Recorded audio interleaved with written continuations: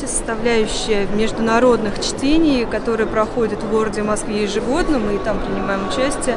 Это важно для подрастающего поколения, потому что они посвящаются в те аспекты, которые здесь обсуждаются, для педагогического сообщества, потому что это а, тема для обсуждения духовно-нравственного просвещения подрастающего поколения. И мы, как казаки, которые, как говорится, казак без веры не казак, это очень ценно и важно для нас. Вы знаете, в этом году рождественские чтения, вот региональный этап, Волгоградский региональный этап рождественских чтений проходит не, необыкновенно интенсивно. Эм, очень много творческих лабораторий, круглых слов, по крайней мере, по казачьему направлению, которое вот я представляю, как руководитель епархиального отдела по взаимодействию с казачеством и правоохранительными органами. Так вот, у нас в рамках нашего отдела э, было организовано направление, которое начало работать еще с сентября. И вот с сентября э, в различных школах, которые реализуют этнокультурный э, казачий компонент, значит, в кадетских корпусах, которых у нас на территории Волгоградской области три, это вот э, Недорубовский, Кумылжинский, Алексеевский, э, в различных казачьих обществах, как реестровых, так и общественных, э, проходили вот, вот такие вот семинары, конференции. Последняя вот как раз в ноябре, и подведение итогов у нас запланировано Э, в декабре месяце, 25 декабря э, в Общественной палате Волгоградской области. То есть вот очень насыщенная была программа и э, много выступающих, э, интересные доклады. Мы достойно, я думаю, приготовились э, к общецерковному этапу рождественских чтений, который пройдет с 21 по 23 января в Москве. Э, и вот будем, конечно же, тот материал, который мы наработали здесь, в Волгограде, будем использовать там. То есть историю возвращается, историю надо помнить. А основное, чему они посвящены, это день памяти э, преподобного князя Владимира. Именно изучение его заветов и каждый человек должен идти этим заветам, следовать. И меня очень порадовало то, что на этом мероприятии присутствует подрастающее поколение в виде кадетов наших, казачьего корпуса. Потому что молодой человек, как пластилин, из него можно слепить что угодно. Поэтому мы должны воспитать действительно русского человека с русской душой, с характером, с умом, настоящего патриота.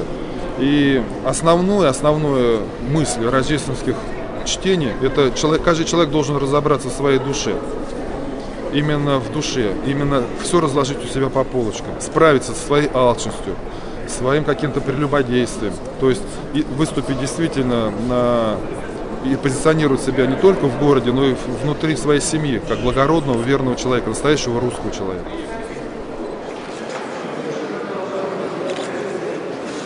Вот,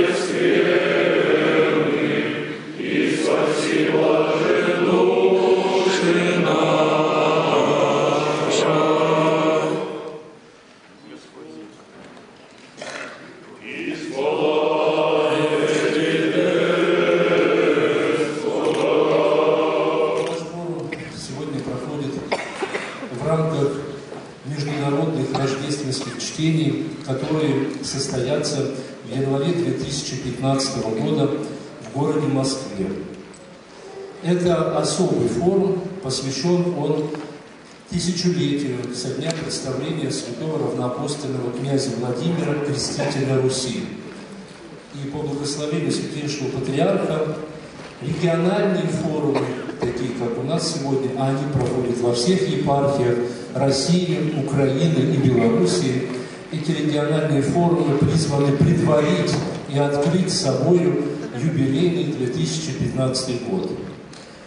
Наш форум на седьмой уже по счету, мы его назвали седьмые царицынские рождественские чтения. Он объединил большое количество участников. Форум будут работать три дня, 8, 9, 10 января. Сегодня здесь в зале находятся люди, с которыми в Волгоградской епархии сложились добрые и партнерские отношения – мы вместе решаем многие проблемы по укреплению православной веры, по просвещению наших людей, по утверждению ценностей христианской жизни, в жизни современного общества, по духовному окормлению и особенно по духовно-нравственному воспитанию детей на традициях нашей православной веры и православной культуры. Здесь собрались представители педагогического сообщества, воинства, правоохранительных органов. Здесь собрались общественные деятели, деятели науки и культуры.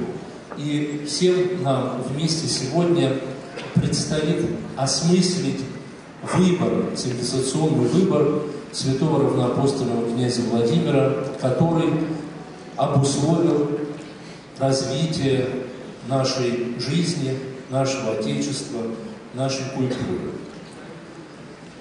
Мы, организаторы Волгоградской епархии и Волгоградское отделение Российского фонда культуры, разработали небольшую программку, пригласили высокочтимых гостей. И первое, э, что находим нужным, конечно же, это приветствие высокочтимых гостей. Потом прозвучат два научных доклада, рассказывающие о князе Владимире. И без перерыва студенты Царицынского православного университета представят небольшой хоровой концерт, который называется «Князю Владимиру Слава». Вот такой будет регламент сегодняшней встречи. Ну а завтра, 9 и 10, на более чем 20 площадках нашего города пройдут конференции, семинары, круглые столы, кинолектории, встречи, на которых будут обсуждаться исторические вопросы, мировоззренческие. Даже привлечь, э, при, на некоторых форумах э, примут участие политологи и социологи, которые будут говорить о выборе князя Владимира. Вот. Таков э, график работы рождественских чтений. Ваше Высокопреосвященство, Владыка, э, почтительно просим вас обратиться к нам со словом назидания по случаю нашего собрания.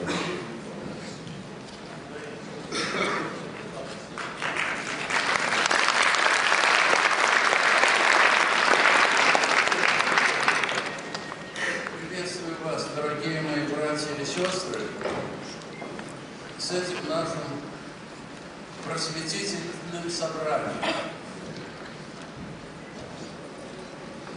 Я думаю, что такого стечения обстоятельств мы не пережили еще в этом году. Вот мы сейчас переживаем.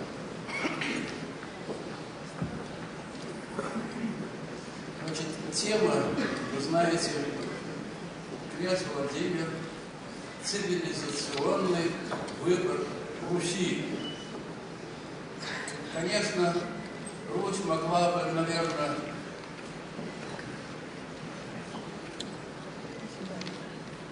пойти по другому пути. Но благодарение Богу, нашему народу, талантливому народу, могучему народу, Господь дал именно это предназначение созидания российской государственности. Причем, в отличие от других, скажем, могучих государственных объединений, скажем, Британской империи или Соединенные Штаты Америки,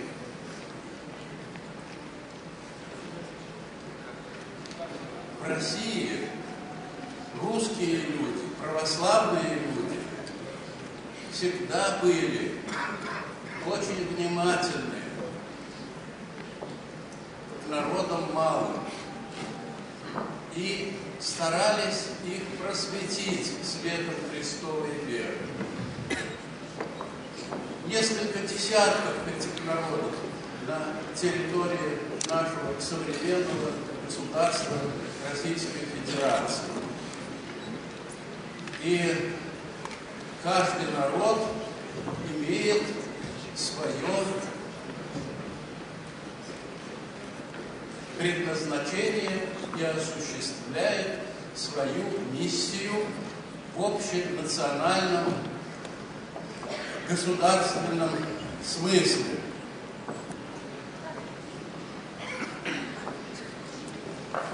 Какие смыслы у нас сегодня? Ну, во-первых, чтобы нас никто не завоевывал, правда?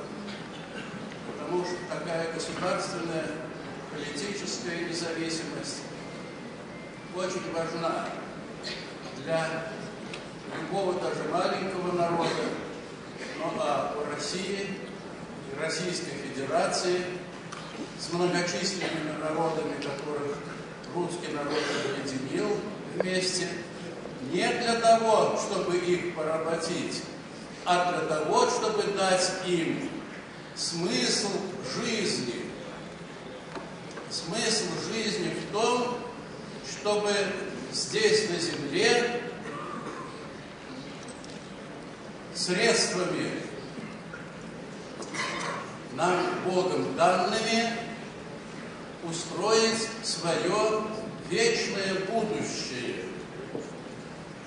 Вот в этом есть особенность нашей русской православной цивилизации. И начиналось не с завоевания маленьких народов, маленьких, так сказать, государств на территории Великой России. Начиналось с общения, с живого, конкретного личного общения. И чем мы были богаты, а мы прежде всего богаты нашей православной христианской верой, тем мы и делились с другими народами нашего Отечества.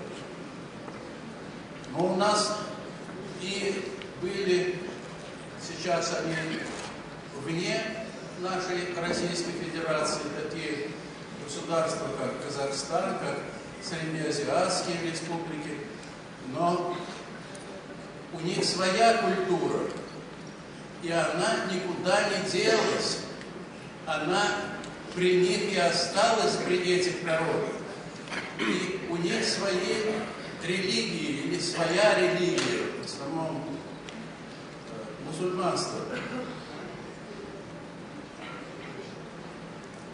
Никого за эту религию на нашей территории российской или на территории Советского Союза, а прежде называвшейся Российской империей, никого за их религию не притесняли. Понимаете, вот это христианское сознание достоинства человеческой личности. Если люди выбрали себе свою веру, они ее держат. И русские люди всегда уважали этот выбор. Может быть, он с нашей точки зрения неверный, но это выбор многочисленных народов. Вот сейчас, скажем, Казахстан и среднеазиатские республики, они самостоятельные государства. Но это достижение нового времени.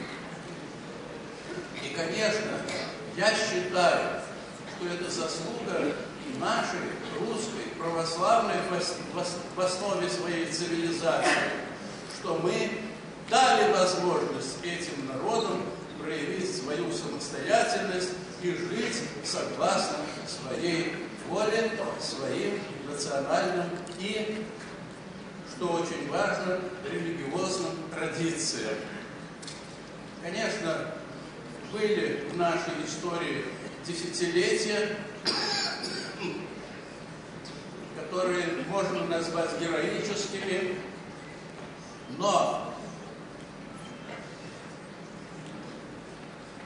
была тенденция вообще избавиться от всякой религиозности. Это, конечно, не самое мудрое было бы решение, если бы всех, и нас, русских, и людей других народов, Советского Союза сделать безбожниками. Но, конечно же, конечно же, хотя эта идеология была агрессивна, и религиозных людей не всегда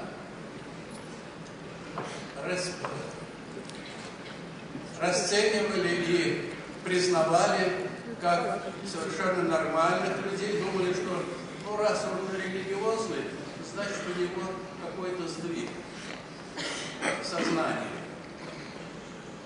Но мы на это не обижались.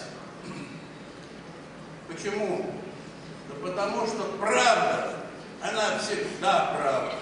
Пусть ее не признают, может быть, кто-то, но она есть. По ней жила Россия тысячу лет и предлагала другим народам, входившим в ее состав,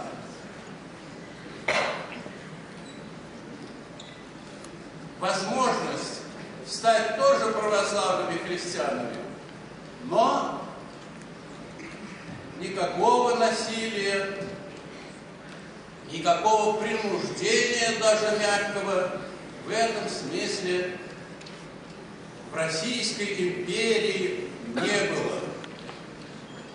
Вот в этом смысле мы были и остались свободными народами. И сейчас каждый из наших 16 бывших советских республик избирает свой путь государственного и общественного развития.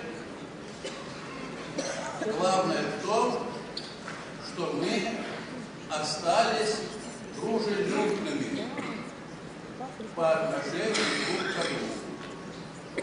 То есть русский народ, народы Российской Федерации дружелюбно себя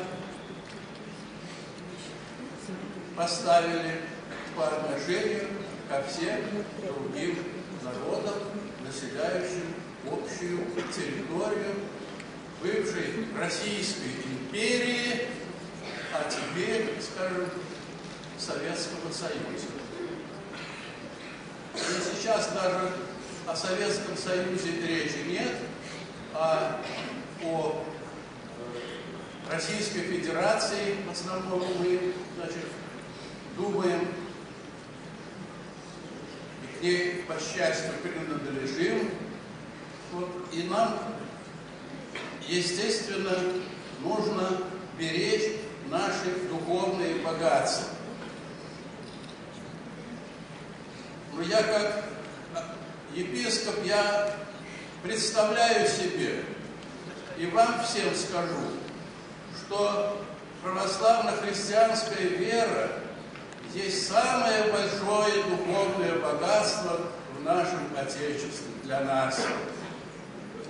Но и не только для нас, а и для всех других людей, других народов, с кем мы живем вместе на одной территории, не обижая друг друга.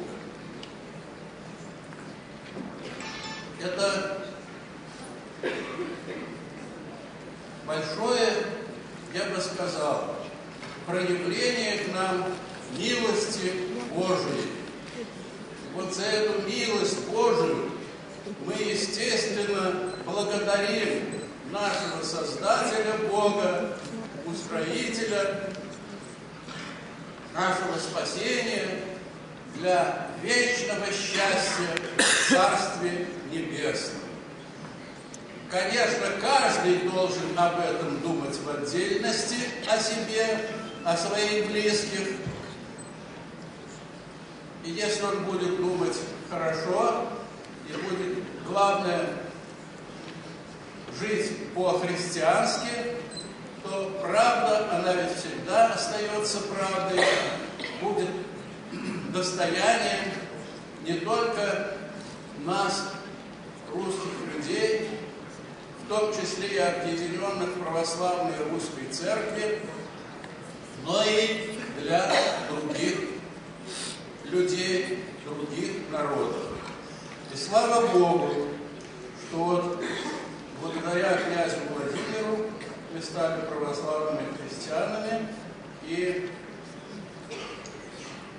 хотя сменилось несколько политических формаций за эти тысячи лет в нашем Отечестве, но тем не менее, тем не менее, у нас есть возможность каждому человеку свободно определиться в своем религиозном, культурном выборе и крутиться во славу Божию на благо своего народа и всех народов, которые населяют, сегодня будем говорить, Российскую Федерацию. Так что вот цивилизационный выбор был сделан нашим благоверным великим князем, просветителем и крестителем Руси Владимиром. Вот. И никогда у нас не было насильственного обращения в христианскую веру других народов. Ну, смотрите, большое время среднеазиатские народы, исповедующие в основном мусульманство, находились в составе Российской империи. И их суверенным, общим государем был российский православный император. Было так? Было.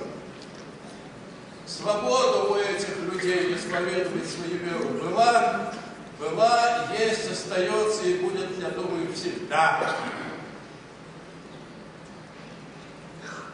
конечно же, конечно же, нам вот с вами, как наследникам этого религиозно-цивилизационного выбора, теперь надо благодарить Бога и наших предков, что они встали на этот путь. который для нас спасителем и который не мешает другим людям идти тоже своим своим духовным путем, но даже и в чем-то люди других народов, других религий и опираются на опыт нашего народа и нашей церкви. Так вот, цивилизация. Что такое цивилизация? Цивилизация это значит, как я себе представляю,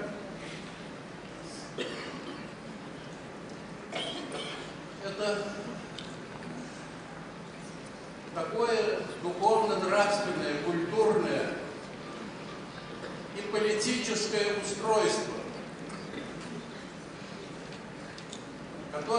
объединяет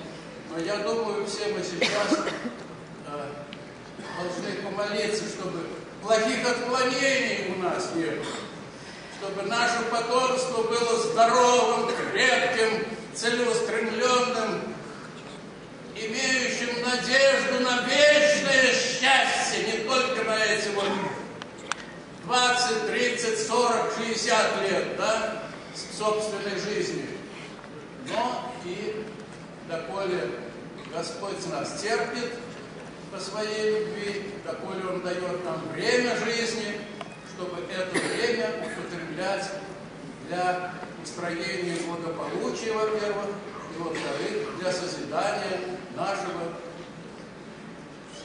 доброго, благополучного будущего. Ну, подумаем над этим, да? Выскажем свои соображения, вот, и Бог нам в помощь. Мир вам и Божья вам любовь. Аминь. Благодарю вас, государственный владыка, за ваши святительские слова. Они нас ориентируют в том, как нам дальше развиваться и в наших рождественских чтениях, и в целом по жизни. Спасибо большое. И позвольте предоставить слово заместителю э, губернатора Волгоградской области Александру Ивановичу. Сегодня рождественские чтения – традиционная форма общественного обсуждения проблем и перспектив сохранения православных духовных ценностей, исторического и культурного наследия. Чтения стали площадкой для обмена опытом между представителями Русской Православной Церкви и современного общества в духовно-нравственном воспитании детей и молодежи, развития системы духовного образования. В наше необычное время с тенденциями к унификации национальных культур развитие духовного образования приобретает особую значимость. Россия многонациональная и поликонфессиональная страна, что, собственно, делает ее самобытной и уникальной. Только на территории Волгоградской области проживают представители более 130 национальностей. Поэтому наша область всегда рассматривалась как Россия в миниатюре со всеми проблемами и достоинствами. И решение проблем сохранения и развития национальных культур и традиционного мировоззрения является одной из ключевых задач, стоящей перед обществом, государством, религиозными организациями. Мир и стабильность в обществе – неизмеримая ценность сама по себе, но при этом они имеют и чисто инструментальное значение. Это необходимая база упорядочения и развития экономики страны, поддержания и повышения инвестиционной привлекательности. Вызовы современной агрессивной информационной среды требуют не только новых форм работы, но и принципиально нового взгляда на православную культуру, ее сохранение и приумножение. И рождественские чтения – один из инструментов эволюции православной культуры, положительный, действенный и эффективный. Образовательное чтение – это развитие православного образования, духовно-нравственного просвещения подрастающего поколения. Особое внимание уделяется осмыслению проблем науки и культуры с точки зрения православного мировоззрения, а также расширению сотрудничества церкви и государства в области образования. Епархиальные рождественские чтения, темой которых в этом году является князь Владимир «Цивилизационный выбор Руси», посвящены восприятию роли Русской Православной Церкви в истории России, образа равноапостольного великого князя как собирателя земли русской, формированию атмосферы диалога между властью и институтами гражданского общества. Администрация Волгоградской области поддерживает добрые начинания рождественских чтений у молодежи приоритетных ценностей, лежащих в основе традиционной духовности и бережного, бережного отношения к исторической памяти. Уверен, что работа форума, форума привлечет общественное внимание и послужит успешному решению важнейших задач гуманитарной сферы. От всей души желаю вам здоровья, вдохновения, успешной работы и реализации намеченных планов. Который оставил заповеди, благодаря которым мы живем и процветаем в этом мире.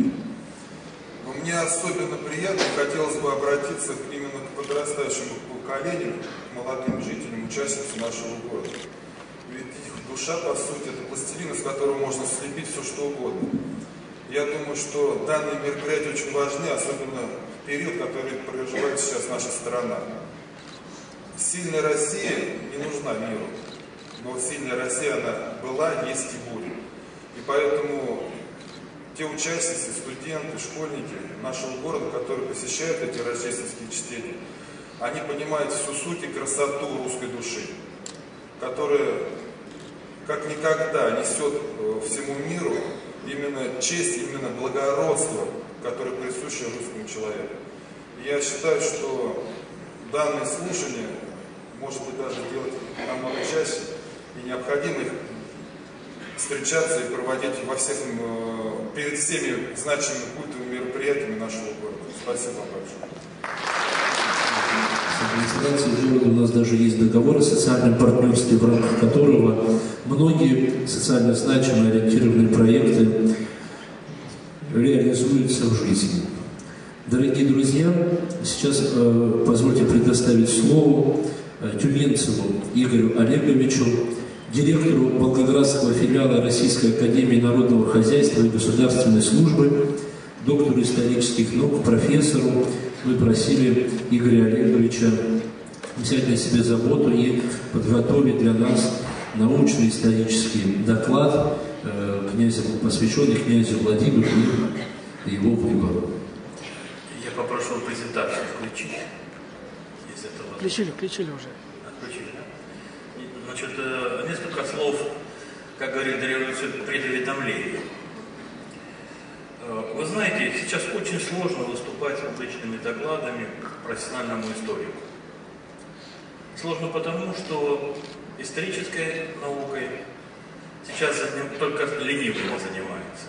И у э, русских людей, переживших вот эту переломную эпоху, к истории достаточно скептическое отношение. Потому что нашу историю пис- писали математики, нашу историю писали литераторы, нашу историю писали уже пишут, писали шахматисты, а сейчас уже взялись и юмористы. И включишь э, наш телевизор, и такая тоска порой берет, э, и безысходность, что ну, нехорошо делается. А к сожалению, мы забываем о главном, что прошлое – это причина настоящего. И нам нужны объективные знания о прошлом. И каждый из нас должен заниматься своим профессиональным делом. Полиция должна э, нас охранять, воины должны нас защищать, литераторы писать художественные произведения, которые вызывали интерес, юмористы смешить, шахматисты выиграть чемпионаты мира, что они в последнее время давно уже не делают. Иначе получится, как в той детской сказке. Замяукали котята, надоело нам мяукать, мы хотим, как поросята, хрюкать. Вот мы и хрюкаем, по большому кругу. Э, Что э, можно сказать о том пути, который прошла Россия, княжение князя Владимира, э, что называется в сухом остатке. В сухом остатке вот из тех знаний, которые есть на сегодняшний день. Я не хочу ни фантазировать, ни изобретать. Я не художник, чтобы вам представлять, как это мне видится, как это мерещится. Я хочу просто вам изложить отдельные факты, чтобы вы поняли, как человек от язычника прошел путь для, до сначала государственного деятеля, потом э, государственного деятеля, принявшего православие, и который затем э, задал импульс развития э, древнерусского государства. Самое главное в профессиональной работе историка, чтобы вам не говорили литераторы, шахматисты, математики своими расчетами, это знать тот источниковый материал, на котором основываются эти построения. Я попрошу следующий слайд. Древнерусское летописание. К сожалению, древнерусское летописание для нас содержит очень мало и очень искаженную информацию о той эпохе. У нас есть небольшой фрагмент киевского летописца 860-882 года в составе Никоновской летописи. У нас есть сказания о князях киевских, у нас есть древнейший летописный свод 1037 года, Киевский митрополичий летописный свод 73 года. Но все, эти, все вот эти перечисленные мною э, сочинения, они к нам не дошли в том виде, в каком они писались. Они дошли только в составе более поздних, более поздних сочинений, такие как начальный свод 93 года митрополита Иоанна, сохранившийся в Новгородской первой летописи, и повесть временных лет, которая сохранилась в двух редакциях. Не в первой редакции, а второй и третьей редакции. И то в составе поздних э, э, Лаврентьевской и Ипатьевской летописи 14-15 веков.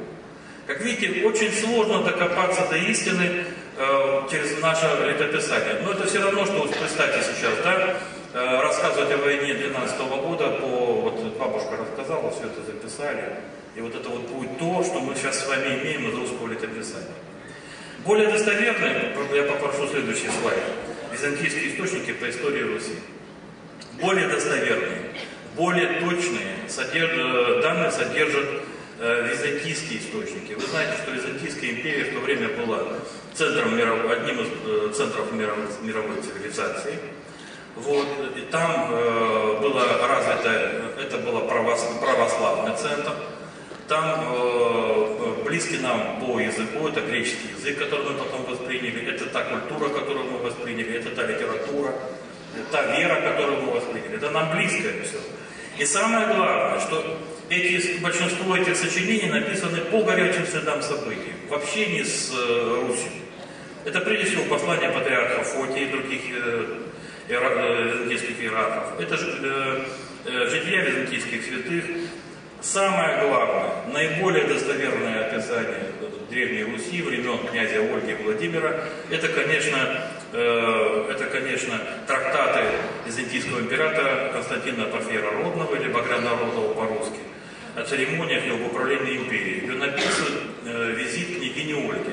Я могу такое, такое сравнение сделать. Если мы будем буквально следовать э, русской летописи, то получается, что э, княгиня Ольга посетила и приняла крещение в 80 лет, что, конечно, не соответствует действительности. Поскольку мы знаем из описания Константина Профира Родна, что она, была, что она в тот момент была очень красивой и привлекательной женщиной. Ну, это сочинение, э, это сочинение всевозможные трактаты, истории, хроники, Малала, Арматола, которые частично сохранились в нашей летописи. Поэтому э, следует признать, что византийские источники – это наиболее ценные. У нас есть европейские источники по истории Руси. Э, пожалуйста, следующий слайд. Это скандинавские саги. Но надо учитывать, что эти саги были написаны в 14, записаны в 14 веке. Это еще позже, чем, например, наше это описание. Это жития европейских святых, тоже достаточно поздние. И, наконец, аналогы хроники, такие как э, Адама Бременская, Сосона Грамматика и других, они тоже интересны, но, но они содержат очень, э, очень э, лапидарные, короткие сообщения о Древней Руси, поскольку надо понимать, что в то время Западная Европа была глухой периферией э, э цивилизованного мира, глухой периферией. То есть тот Запад, который мы знаем как современный Запад, это примерно с конца 15 века после великих географических открытий, когда центр цивилизации стал постепенно смещаться в эту сторону. А в то время, конечно, центр цивилизации это Византия и арабский э, халифат. Э, я прошу следующий слайд. И по, именно поэтому не случайно большую ценность представляют собой арабские источники по истории Древней Руси. Это записки путешественников Ибн Фадлана, который побывал на Волге, непосредственно все наблюдал, он ездил в Булгар. Это географические трактаты Ибн Батута, Ибн Хаукаля, э, это сочинение э, арабских и персидских э, литераторов, которые нам известны. Но это опять же для них была периферия, которая, периферия их мира, которая была опосредована через византийцев, и только через Каспий они имели выход к нам. Поэтому здесь большие языковые трудности в интерпретации. Очень часто они друг у друга переписывали. Очень трудно источниковедчески разобраться, где есть, кто первоначально дает сведения и так далее. Поэтому вот эти данные очень тяжело поддаются синтезу. Пожалуйста, следующий слайд. И еще ряд источников, которые, э, группа источников, которые очень редко использовались в советских исторических сочинениях. Это прежде всего еврейская казахская переписка, это переписка между еврейскими общинами Киева, Спадола и э, общ, еврейской Спальни. Остатки мы можем наметить следующий такой пунктированный нули. Примерно, примерно э, в центре Киеве и здесь э, отмечено наличие династии, своя династия, и э, Арсания или э, Арсания, это, но это было крещение только при Днепровской Руси.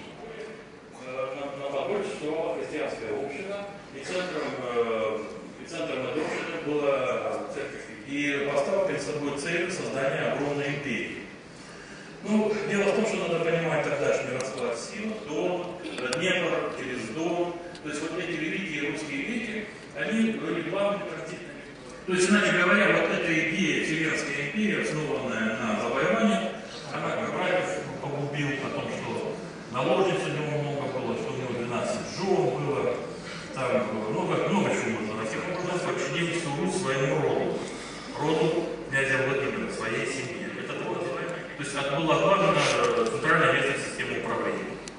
Естественно, чтобы она во всей, э, в новом государстве. И тогда, и тогда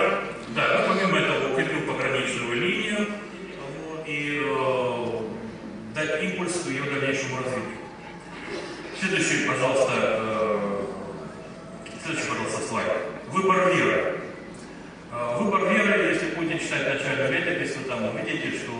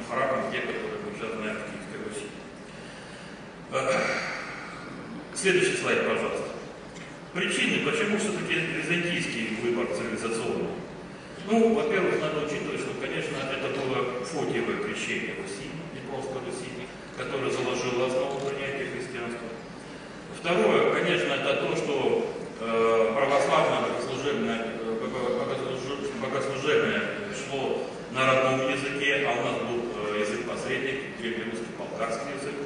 Это наличие южнославянского клира и корсунского клира, знакомы с реалиями э, Древней Руси. А о четвертой, о четвертой причине прямо говорится в начале русской летописи. Это торжественность ярких и богатых богослужений византийских. Э, ну и наконец, и наконец немаловажную роль сыграла государственная поддержка причем, как я уже сказал, что в Днепровской Руси, там, где были христианские общины, это довольно быстро прошло. А вот э, на периферии там усердствовали бояре великого князя Владимира. Вот, и там э, я в нем мечом бывал, крестили. Но, но, э, по, мере, по, по мере дальнейшего развития, э, по мере дальнейшего развития, э, можно сказать, что в отличие, например, от Западной Церкви, Единственный факт сожжения еретиков у нас был в начале 16 века. Это самый короткий, это короткий эпизод, который довольно быстро был закончен. Таким образом, что таким образом достаточно вера у нас, как правило, распространялась отнюдь мирно. Это было исключение из правил. Э, Россия, э, результаты, следующий, пожалуйста, слайд. Результаты э, цивилизационного выбора России. То есть Россия приобщилась к византийской духовной литературе и истории.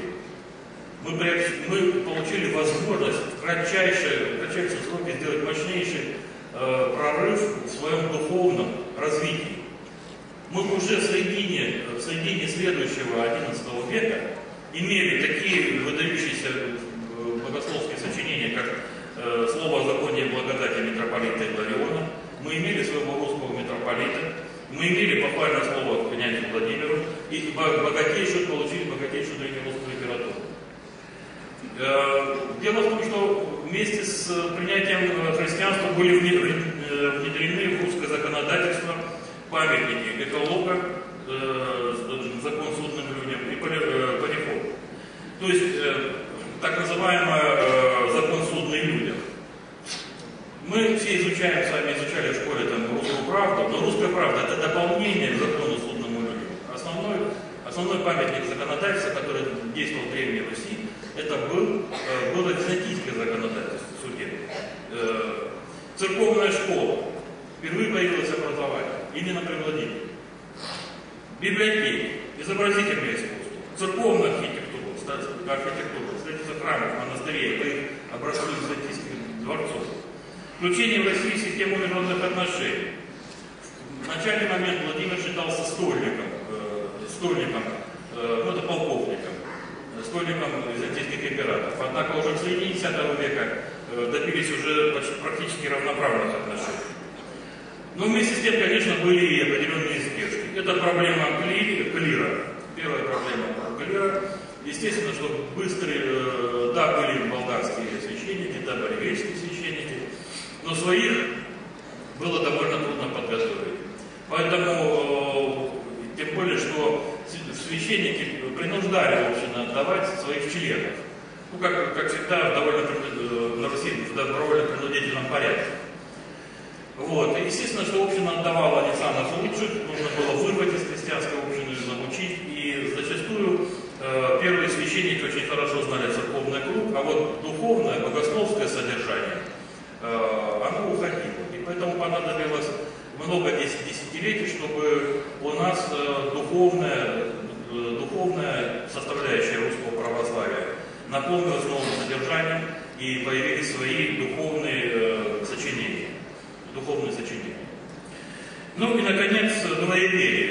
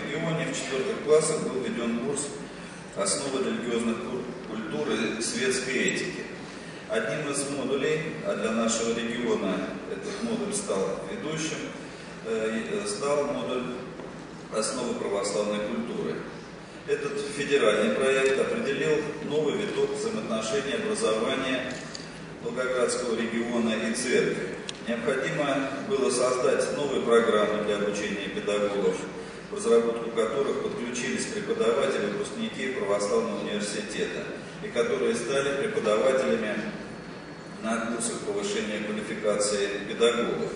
Совместная работа по подготовке преподавателей по основам православной культуры продолжается сегодня. В настоящее время более 1100 педагогов прошли такую подготовку.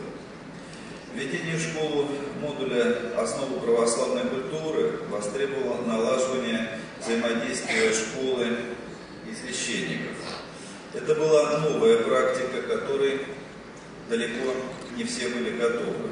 Э, проблемы такой готовности возникали и у родителей, и у школ, и э, у священников. Сегодня день, сегодняшний день показывает, что к этой практике уже привыкли. Количество обучающихся, выбирающих данный курс, э, ежегодно растет, и в этом учебном году школьников, которые выбрали основы православной культуры, это имеется в виду они этот выбор делают вместе с родителями, их 6673. Одним из важнейших результатов преподавания нового предмета стало то, что педагоги, дети родители начали обсуждать его содержание, говорить друг с другом о морали, нравственности, духовности, о человеческой жизни и социальных отношениях. Но сохраняются определенные проблемы с обеспечением выбора модуля и профессиональной подготовленностью педагогов. Большинство педагогов, которые ведут этот курс, это учителя начальной школы. А, с одной стороны, это хорошо, потому что большое количество педагогов именно начальной школы соприкоснулись более тесно с православной культурой, культурой. Повысилась их богословская и религоведческая грамотность. Установился тесный контакт расположенных рядом со школой э, Э, расположенными рядом со школой православными приходами. Священники смогли э, принимать участие, возможно, э, в жизни класса. Но с другой стороны, для более качественного преподавания нужен учитель-специалист именно этого учебного предмета.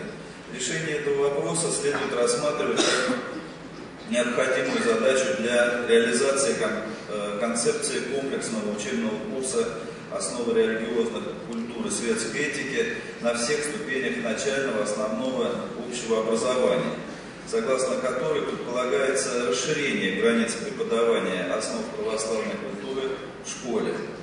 Мы рассматриваем это как перспективное направление для развития взаимодействия с церковью. В общеобразовательных организациях Волгоградской области успешно работают кружки по духовно-нравственному воспитанию школьников. Изучению семьи, родного края, формированию семейных условий посвящена большая работа этих объединений. Сегодня их более пяти тысяч, и в них проходит подготовку более 80 тысяч детей. А набирает обороты развитие олимпиадного движения по основам православной культуры. В последние годы, как результат полномерной работы педагогических коллективов общеобразовательных учреждений, наблюдается устойчивая тенденция активного роста числа участников и в целом участия школьников в этой Олимпиаде. Стратегия отбора выстроена э, через школьный, муниципальный, региональный и э, заключительный уровни. Следующее направление – это обеспечение социального запроса родителей, э, дошкольников в отношении духовно-нравственного воспитания своих детей. И это обусловило введение занятий по православной культуре именно в дошкольных учреждениях. Это потребовало совершенствования кадрового обеспечения, разработки нормативно-методических материалов. И в настоящее время в программу подготовки воспитателей э, в рамках повышения квалификации, а также музыкальных руководителей детских садов, введен модуль по формированию дошкольников эмоционально-целостного отношения на основе традиций православной культуры. На дошкольной ступени образование э, и духовно-нравственное развитие э, детей – это инновационная стратегия, которую без преувеличения можно назвать общенациональным делом, так как прежде всего связано с укреплением российской семьи.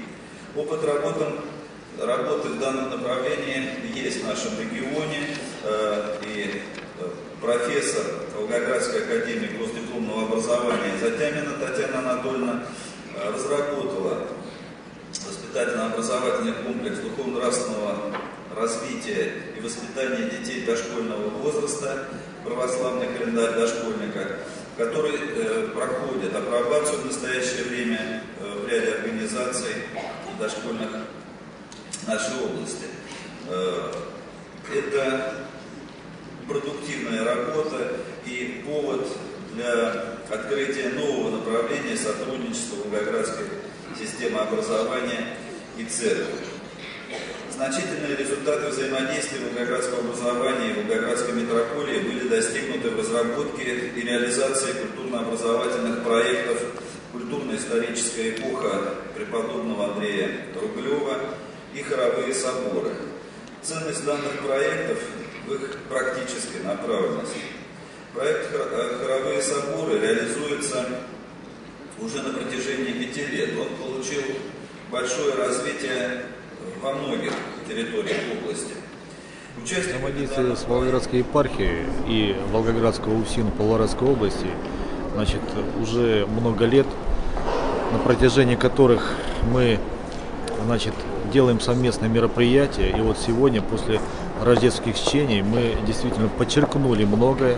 Вот, и после именно рождественских чтений мы э, все-таки будем определенные мероприятия проводить и у нас э, с осужденными. Э, у нас имеется 10 храмов. Вот, э, за храмами закреплены значит, настоятели Волгоградской епархии, которые проводят такие мероприятия. Я думаю, впредь будут проводить такие мероприятия mm-hmm. в наших учреждениях. Mm-hmm.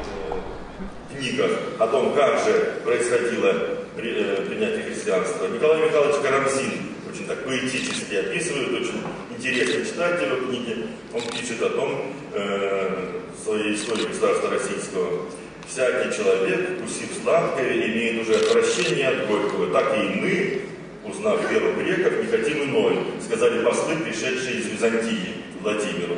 Ну, а Владимир обратился еще к старцам и боярам, которые сказали, когда бы закон греческий не был лучше других, то бабка твоя Ольга, мудрейшая всех людей, не вздумала бы принять его. То есть э, у нас складывается впечатление такого э, ну, достаточно э, спокойного и легкого принятия христианства, хотя мы понимаем, что это было все-таки трудный путь выбора цивилизации. Цивилизация слова не знал э, Владимир, но он пытался выбрать путь дальнейшего развития страны. Может быть, он э, тоже не, не задумывается о том, он предполагал спасение государства. Спасение в высоком смысле, христианском, и спасение э, в э, гражданском смысле, чтобы она с, с опорой на веру смогла продолжить свое существование в довольно сложном мире 10, сложном мире X века. Меняется этническое сознание русского человека. Причем это преобразование случилось довольно быстро. Мы это хорошо видим по э, жизни святых Бориса и Глеба. Они были уничтожены э, спустя, убиты, спустя всего 27 лет после того, как э, было принято э, христианство. То есть, в принципе, миг в истории э, того или иного народа, да и русского народа. Но э, почитайте житие, они действовали так, как будто бы позади у них э, многолетняя христиан, многовековая христианская история. Как будто они впитали в себя все основы христианской жизни. Ну, и погибли с э, верой на устах. Э, возникла новая нравственность. Совесть, фундаментальная этическая структура, которая определяет весь внутренний строй личности, у нее опора вера в Иисуса Христа, Сына Божия. Человек значит, обрел способность нравственного суждения. И, по словам э, святителя Иоанна Златоуста, чистая совесть есть результат праведной жизни, праведных дел. И только тех одних не обличает совесть, которые или достигли верховных добродетелей, или не спали в самую глубь зла. Появляется обожение, соединение с Богом, прославление человека божественной силой, благодати Святого Духа. Человек понимает, что он является частью божественного мира и несет в себе Господа. Русское религиозное сознание, как писал академик Александр Михайлович Панченко, э, в отличие от человека просветительской культуры, э, э, древнерусский человек жил и мыслил в рамках религиозного сознания. Он окормлялся верой, как насущным хлебом. В Древней Руси было столько, сколько угодно еретиков и вероотступников, но не было атеистов. Появилось просвещение. Просвещение пришло э, прежде всего в храмы, в монастыри. Вот что пишет о Владимире. Послал он собирать лучших людей детей и отдавать их в обучение книжное. Конечно же, это вызвало сразу протест. Э, язычники были против обучения, и матери плакали о них, как о мертвых. Говорится о том, что это было довольно массовое обучение. 300 человек собрал э, великий князь Владимир, как пишется в одной из летописей, чтобы учить грамоте. Кроме того, были э, приглашены э, иностранные учителя. То есть мастера из Греции прибыли для обучения российских детей. Появилась книга, причем тоже довольно быстро появилась. Мы знаем, что первая, э, первая книга, написанная на Руси, Астромирова Евангелие, была создана в 1056-57 году. И это Астромировое Евангелие, сохранившееся и до сих пор являющееся памятником нашей культуры, оно очень отражает хорошо особенности не только церковнославянского языка, но и русского языка. Мы считаем его памятником э, нашей, начала нашей русской письменности и обнаруживаем в них те слова э, древнерусские, которые сохранились в этом э, памятнике. Прекрасно пишет повесть временных лет о том, что значит книги. Книги – это реки, напаяющие Вселенную. И вот что э, сообщается по 1037 годам о деятельности уже сына Владимира Ярослава. О том, что он собрал книгописцев множество, и они написали много книг, по которым верующие люди учатся и наслаждаются учением божественным. Пишет э, дальше э, нам летописец. Велика богость, э, польза учения книжного. Книги наставляет и научает нас пути покаяния, ибо мудрость обретаем и воздержание в словах книжных. Появляется обучение и для женщин. Первая женская школа появилась в 1143 году, когда святая Ефросиния Полоцкая основала женское монастырское училище. Э, она много сама читала, э, богатая библиотека была при Софийском соборе, переписывала книги, и вот у нее возникла мысль, которую она воплотила в жизнь, создать книгу, создать школу для девочек О том, чтобы э, э, просвещение было довольно широко э, на Руси развито, мы видим по пересыльным грамотам, которые сохранились хорошо, и сейчас все новые и новые обнаруживаются в Новгороде, Пскове, Великой Руси и в других городах, где есть возможность, сохранились возможности, что береста там не, не портится. И вот там берестяные грамоты мальчика Анфима, особенно э, школьника 13 века, мы видим, что он и переписывал, и э, слал записки похода Анфима к Даниле, и рисунки остались его, и другие, э, э, его азбука. Остались даже э, берестяные грамоты, на которых были латинские буквы начертаны, то есть э, просвещение было на хорошем уровне в древнерусском государстве. Русское право. До этого э, существовало восточнославянское обычное право, э, в которое, как Игорь Ильич говорил, включались элементы византийского и скандинавского права, и были специальные люди, которые хранили устную традицию и передавали с уст в следующим поколениям вот эти тексты. И вот когда мы э, читаем русскую правду, памятник этот, то мы видим, что там наиболее древней части есть все-таки остатки еще старых правил. Кровная месть, в нем нет, нет четкой дифференциации э, штрафов в зависимости от социального статуса. То есть эти вот памятник, он э, наполняет, простите, право постепенно наполняется христианским содержанием. И когда оно было кодифицировано, последнюю редакцию связано с именем Ярослава Мудрого, то оно уже э, содержит как старые э, древнерусские права и обязанности, э, э которые были обязаны выполнять граждане тогдашней Руси, так и новые христианские законы. Серьезно изменилась архитектура русских городов. Красивые были терема, красивые были дворцы э, в Древней Руси, но появилась новая доминанта. Появился храм, который строился на самом красивом месте и каждый раз становился украшением города. При этом э, в разных местах возникали разные э, особенности храмостроительства. Так, если посмотрим на покрова на Нерви, наверное, все помнят недалеко от Владимира, э, такой маленький, как жемчужина, как э, украшение на земле.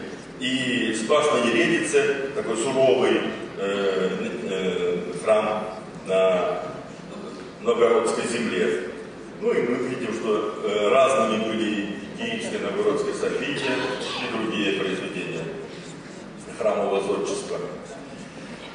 Появилась живопись. Первоначально это иконопись, и, и она пришла, конечно же, вместе из Византии, вместе с теми иконами, которые и княгиня Ольга, и ее сподвижники, и потом э, э, кня, княгиня Анна и Владимир привезли из Византии. Но постепенно появляются и русские мастера, и, конечно же, на э, великое э, искусство Андрея Рублева, которое мы хорошо знаем, его э, прекрасное произведение, э, написанное для храмов Владимира, Москвы, они до сих пор являются э, сокровищницей русской культуры.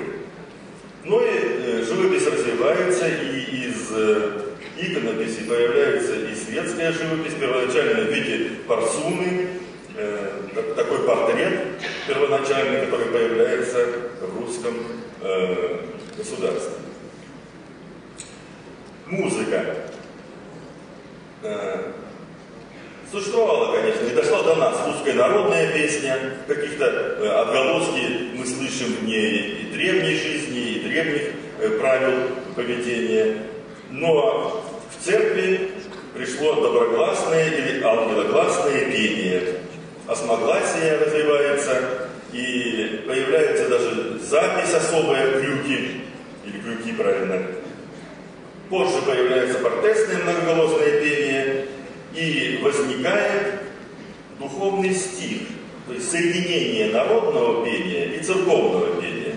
И вот там две картины подряд будут показаны, э, как калики-перехожие бродили по Руси и пели свои песни. А я хочу сейчас э, временно э, сделать паузу в докладе и пригласить Лидию Евгеньевну Магнитскую, директора центра имени Выгодского, которая нам э, две два духовных стиха исполнил. Бедная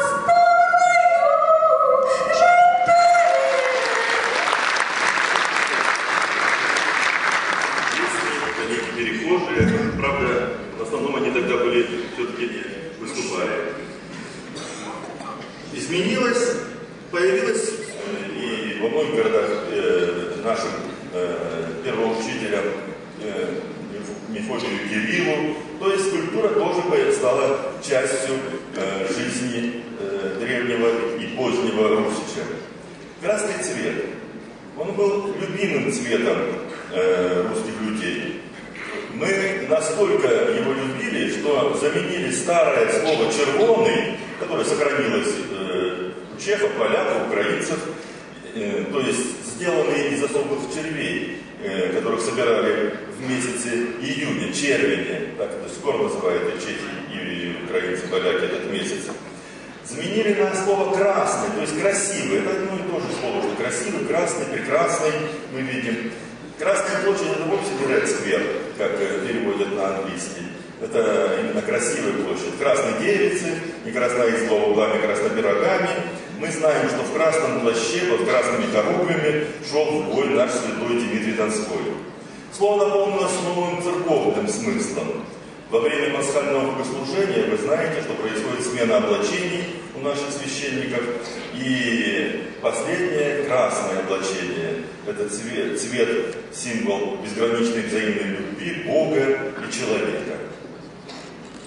Появился новый язык.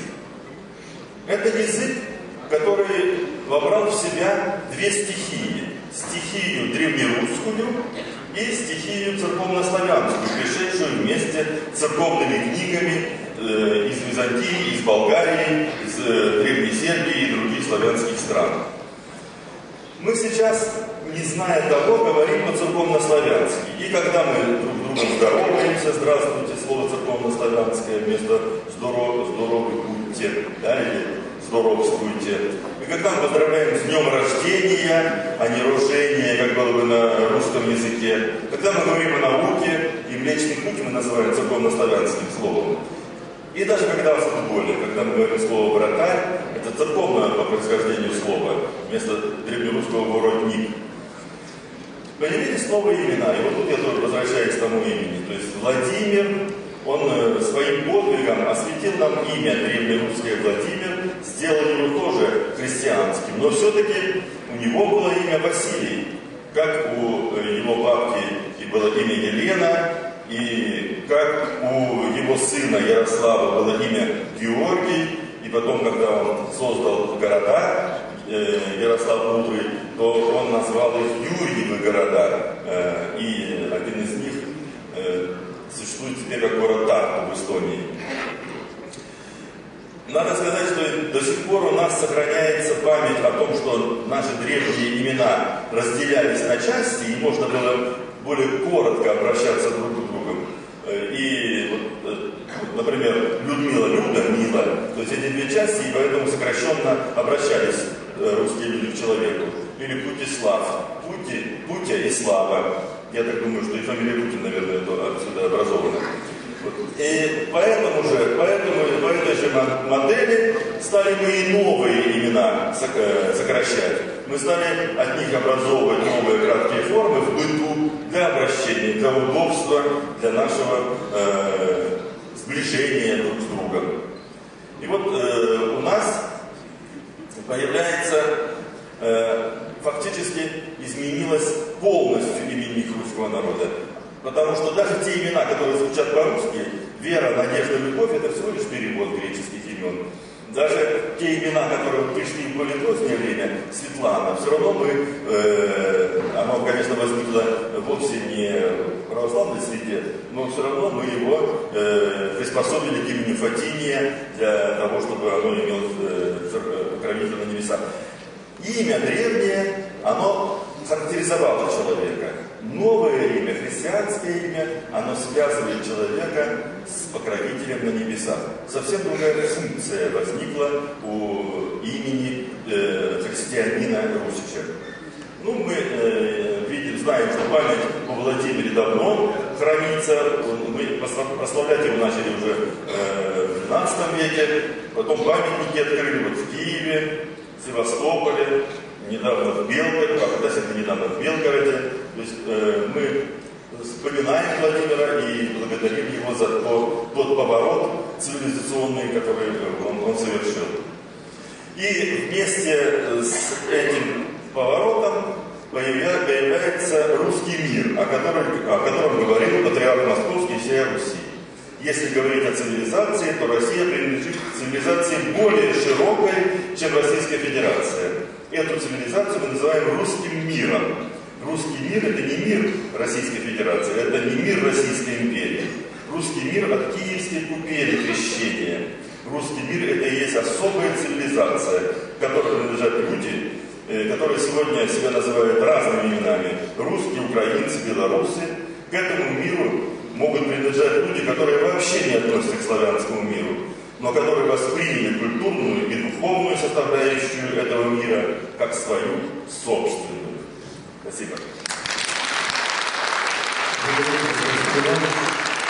Позвольте предоставить слово руководителю департамента образования администрации Волгограда Ирине Анатольевне Радченко.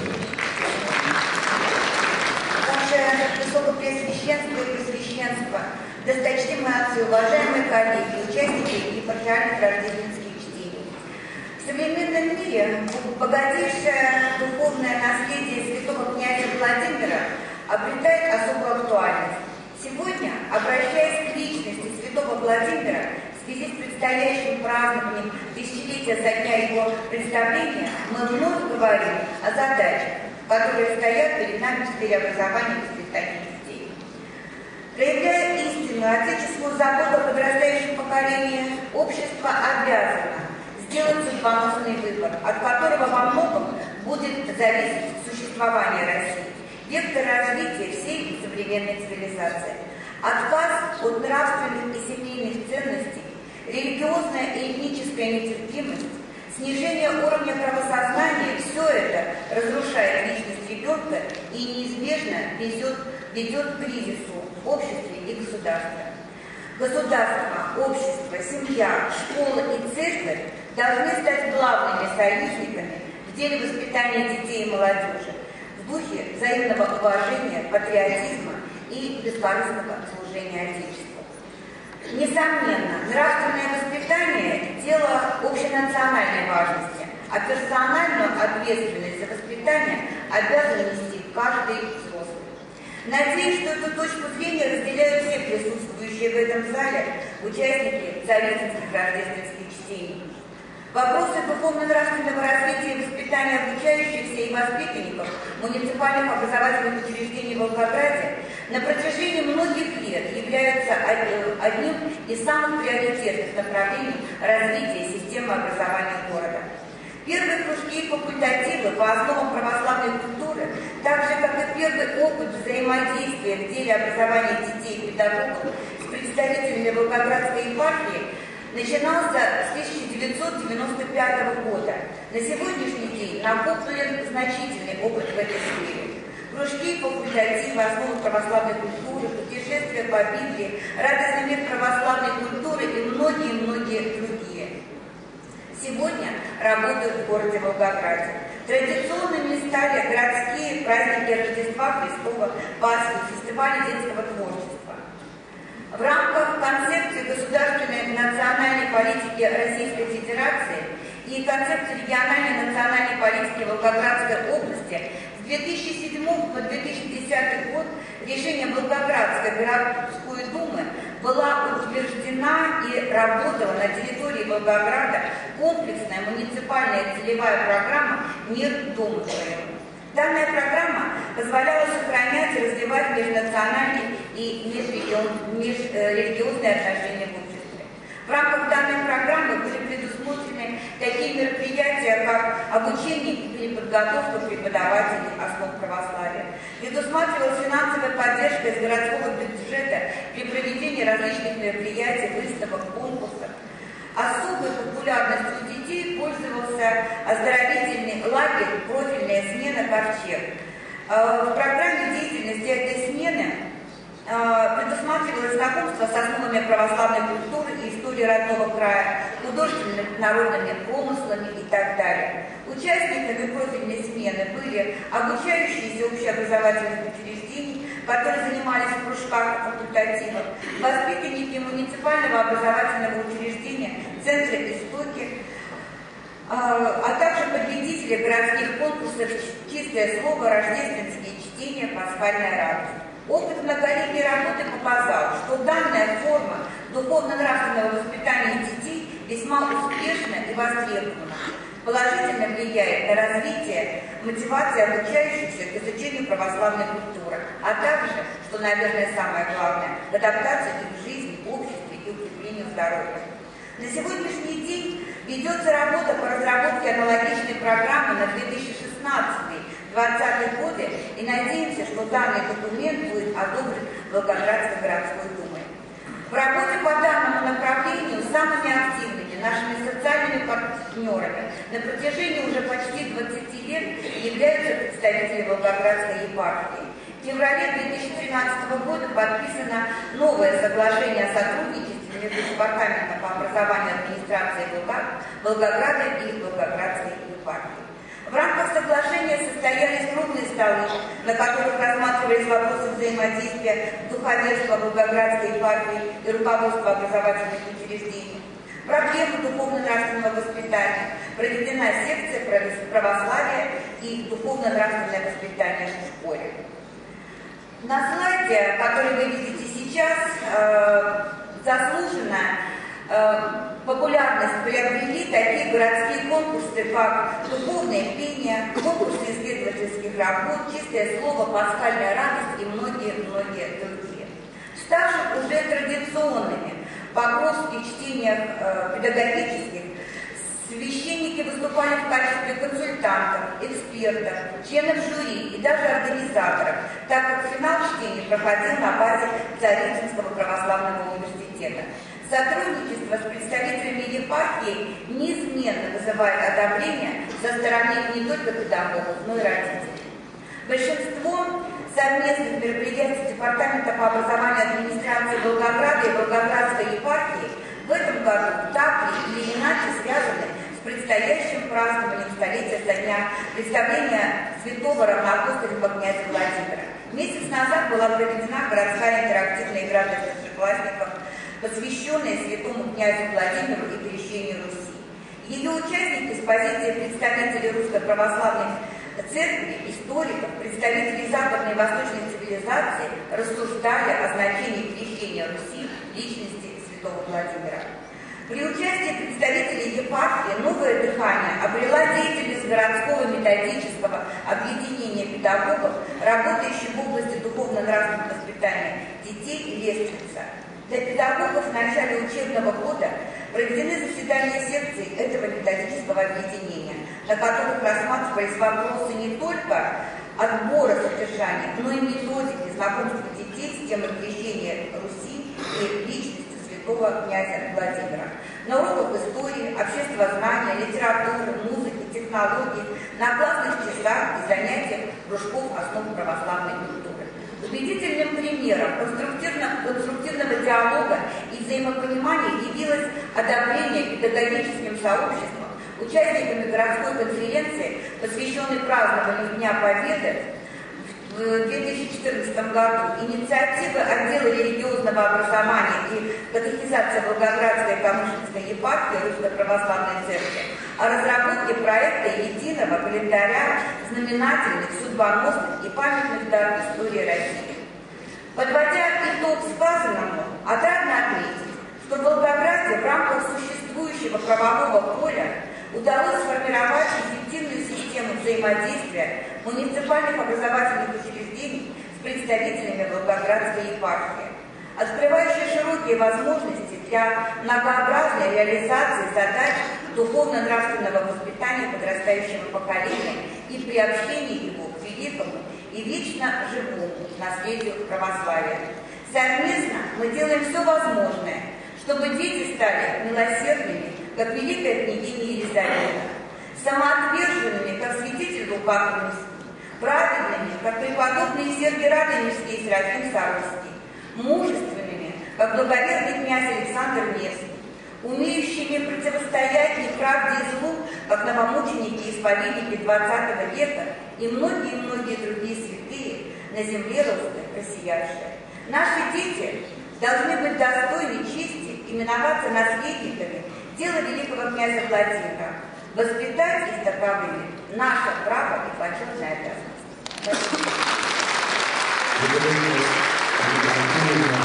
Особенно благодарим за наше взаимодействие и сотрудничество и взаимопонимание. Спасибо большое. Дорогие друзья, на этом э, часть торжественных речей окончена.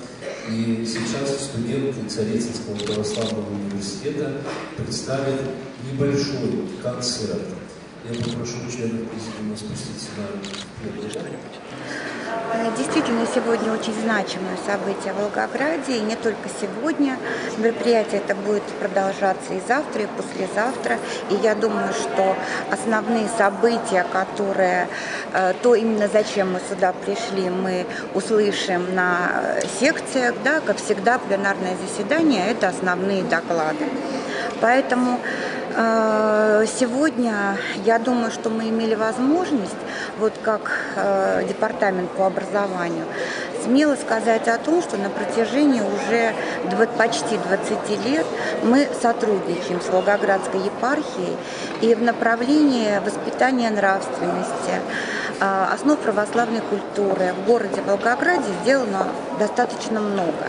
Но тем не менее мы видим перспективы, мы видим, над чем нам работать, Э, ибо э, вера – это возможность, наверное, улучшить наш мир, это возможность на самом деле самого главного воспитания сегодня нашего нынешнего поколения. У нас э, в городе Волгограде есть э, замечательное, уникальное образовательное учреждение, Центр дополнительного образования детей «Истоки», э, который как бы консолидирует в своих стенах то, что делается в Волгограде по этому направлению всеми 422 образовательными учреждениями города Волгограда. У нас обучено э, достаточно педагогов, которые ведут это направление в рамках э, образовательных программ в школе, э, дополнительного образования в учреждениях доп. образования. А также мы работаем э, по этому направлению и в дошкольных образовательных учреждениях, о чем завтра на, на съезде дошкольников мы будем говорить, который завтра будет проводиться в детско-юношеском центре Волгограда, то есть на нашей базе. А, У нас на самом деле огромную помощь в содержании, в проведении различных мероприятий городского уровня. Это, конечно, заслуга не только образования, но прежде всего Волгоградской епархии, а, которая не только консультационно нам помогает, но и непосредственно участвует как жюри, как э, организаторы, как наши самые главные помощники. Поэтому я думаю, что наше дальнейшее сотрудничество э, в, в таком ну, не знаю, необходимом деле э, сегодняшнего дня оно э, даст свои плоды и уже дает. А наши огромные мероприятия, большие мероприятия, которые очень любят и педагоги, и дети, и родители, то есть все участники образовательного процесса, как рождественские чтения, пасхальная радость, чистое слово и многие другие, они стали уже традиционными, и я думаю, мы будем их усовершенствовать и проводить дальше. С началом работы седьмых рождественских чтений в нашем граде. И вместе с вами порадоваться этому событию, потому что мы стараемся идти в ногу с нашим центром, там уже 16 рождественские чтения, у нас всего лишь седьмые. Но это очень радует, и э, хочется пожелать этим рождественским, чтением очень плодотворной работы, так как сейчас это особенно не- необходимо нашей России. Выбор темы этих рождественских чтений очень знаменательный, так как великий князь Владимир, как поется в тропаре, был подобен купцу, ищущему доброго бисера. И дальше также в Величане есть такие слова, что великий князь признан равноапостольным. Он попрал идолов в нашей языческой стране и в купели нашей Матери Земли Киевской принял этот бесценный, бесценный бисер, он обрел Христа.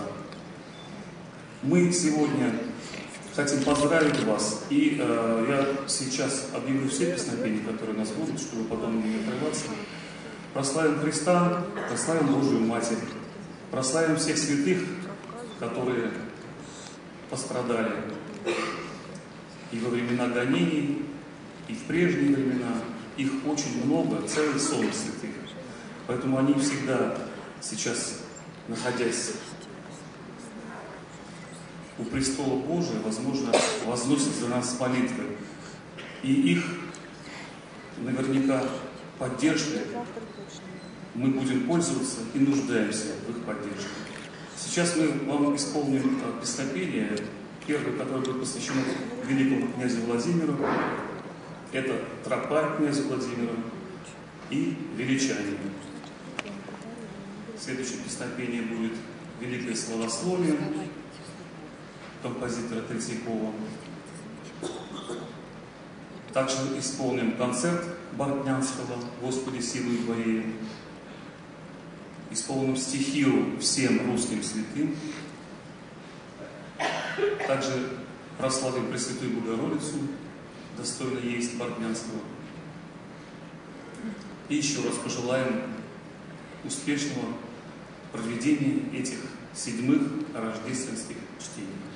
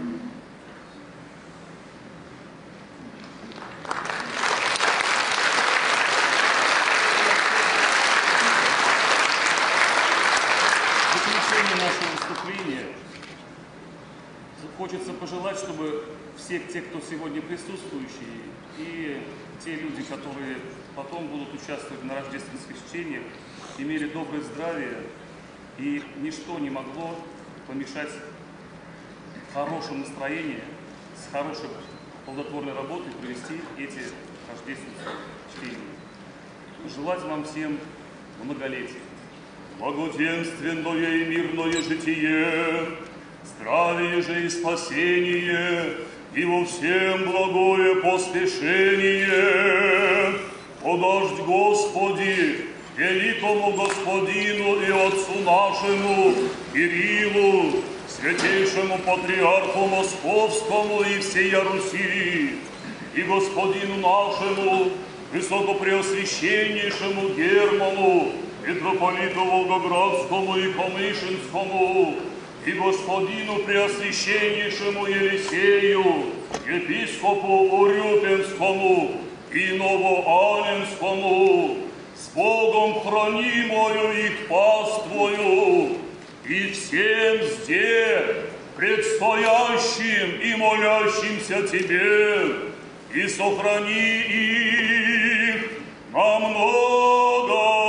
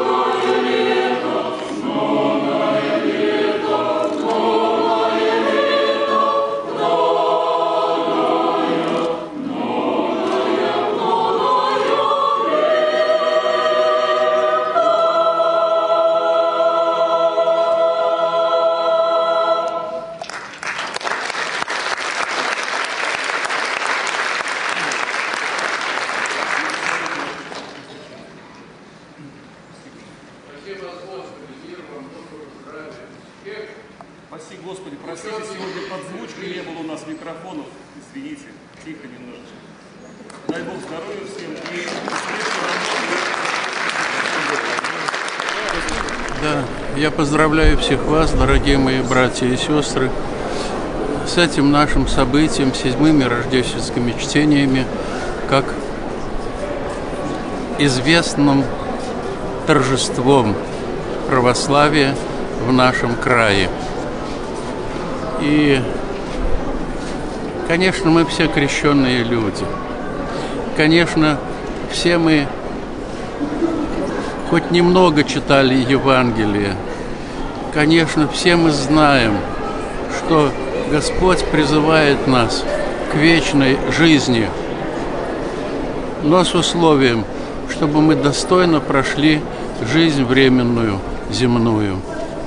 И вот будем просить Господа, чтобы Он благословил нам быть достойными гражданами нашей великой Родины, и чтобы каждый сделал что-то свое хорошее, доброе, праведное, что повлияло бы на всех остальных. Родители для детей хорошо бы, чтобы наставляли их, говорили им и показывали бы сами пример добропорядочной православной христианской жизни. Если мы овладеем этим искусством добропорядочной православной христианской жизни, то Россия на веки веков останется самым лучшим человеческим и государственным устройством для проповеди спасения в жизнь вечную в Царстве Небесном, и чтобы люди помнили, что Царство Небесное начинается в церкви, уже здесь, на земле, в наших молитвах, в нашем общении с Господом, в святых таинствах веры и друг с другом, и в наших добрых делах. Помоги нам, Бог, быть и остаться стойкими православными христианами для спасения нашего собственного в Царстве Небесном и для того, чтобы наша Родина была тоже призвана в Царство Небесное с ее многочисленным народом. Мир вам, Божья вам любовь. Пожелания очень простые, чтобы прислушались к тому, что тут читается. Вот. Что непонятно, спрашивали бы. И главное, усвоили бы идею овладения христианским благочестием в быту, в обществе и во всем нашем народе. Это было бы самое хорошее и самым добрым плодом нашей повседневной жизни, деятельности и молитвы на этой земле. Мир вам, Божья вам любовь. Мне очень понравилось, потому что э, на этих чтениях присутствовала история нашего государства российского. И для нас, для будущего поколения, это особо важно знать. Ведь мы будущее нашей страны. И особо понравилось хоровое пение, а также некие исторические факты о князе Владимире и о продвижении нашей страны от язычества до православия. Я думаю, что каждый гражданин России должен знать историю своего отечества. Также это превратится, если кто-то захочет поступать э, ну, на исторические факультеты. Ну и считаю, что нужны, потому что нужно больше людей к этому привлекать, чтобы все люди были заинтересованы этим. Ну и в конце концов быть об- образованными.